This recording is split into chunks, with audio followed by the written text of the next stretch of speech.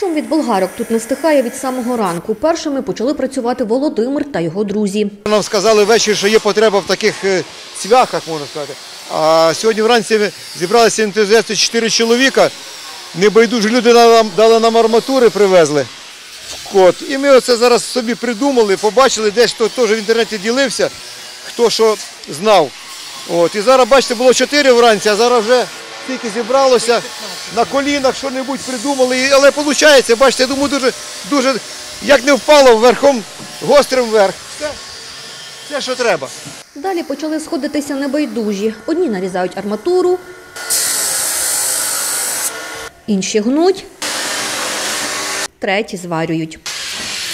Почули дійсності, що ми допомогу робимо державі, допомогу нашим воякам, знаєте, то в дійсності всі почали допомагати, їжджати, спитати, яка допомога, яка ще потрібна, що всі люди ніхто не відказав.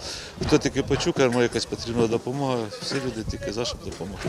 Матеріали привезли волонтери. Чоловіки ж принесли інструменти та зварювальні апарати, розповідає Володимир. Спочатку було тернисто, але коли ми зварили, виготовили перший шип, пішло як по маслу. Ми просто збільшили потужність, понаварювали одну, другу, третю, четверту секцію, вигинаємо, варимо. Робимо так, щоб все було добре для нашої української армії, для нашого українського народу. Тонну арматури у металеві їжаки тут переробили за півдня. Готові вироби складають по 100 штук у коробку, далі передають на блокпости. Нема такого, щоб ми один займається, нас багато людей займається поетапно, кожен своє. Позмінно на сон кілька годин і знову до роботи. Працюють волонтери в іншому кінці Вінниці. Просять не показувати їхні обличчя. Четверту добу вони теж роблять металеві їжаки.